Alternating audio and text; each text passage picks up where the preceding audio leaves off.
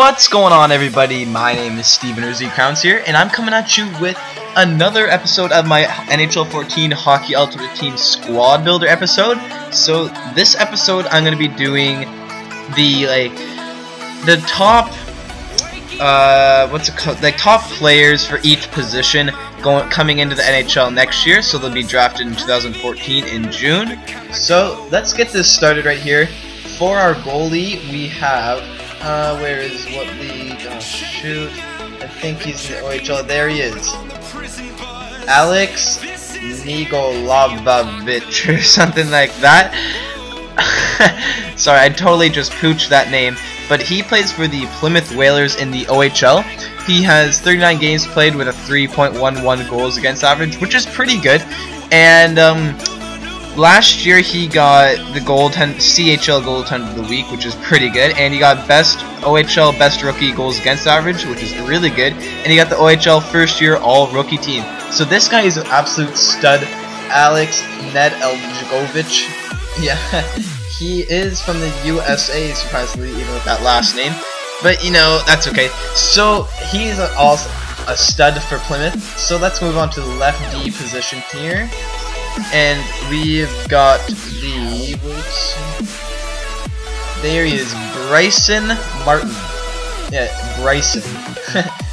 Brycen Martin. He plays for the Swift Current Broncos in the WHL and he's born in 1996 and in his first year with the Broncos he got six, 19 points in 67 games. And this year he's got 21 points in 36 games so he's a shutdown defenseman, and he played with the under 17 World Junior team, in which they won silver in 2012. And then, excuse me, they won. He also sorry played for the under 16, uh, which was pretty good for Canada, and they won gold there. So this guy is a stud. He is a defensive D-man for Swift Current, which is pretty cool. And let's go on to our, let's go right wing, because I want to get an order here of where these guys are going to rank in the draft, which I believe they're going to rank in the draft. So right wing here we got Jake Virtanen. He is the goal scorer, if you haven't heard of him. He's only 6'1", but, well, I'm only 6'1", what am I saying? But he is a beast, this guy.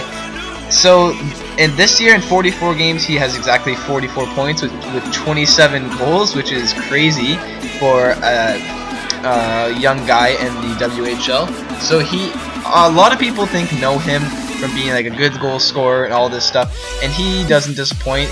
The he could have gone number one before Ekblad and Reinhart got up there but he's honestly a stud. So watch out for this guy in the upcoming years. So let's go on to our left wing now and oops, gotta find him here. Should have put the uh shoot. Where is he? Where is he? There he is. As you guys probably have not heard of this guy, maybe you have, I'm not sure, but this is Brendan Perlini. And which is kinda cool this guy was born in England. Yeah, he was born in England and then he moved to Ontario when he was young. So he plays in the Niagara Ice Dogs organization and he's born in 1996 and this guy he is a goal scorer this guy Brendan Perlini. In 42 games played this season he's got 60 points. 60 points! 28 goals 32 assists. That is actually crazy. People are saying he could be like a really good player in the NHL. He's lethal of speed. He's like it's crazy how fast he is.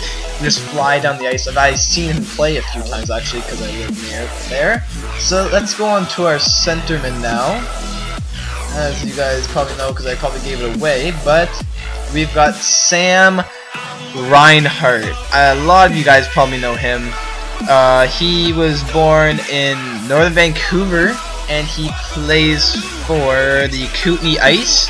And as you guys probably know, he played in the World Juniors uh, twice, I believe.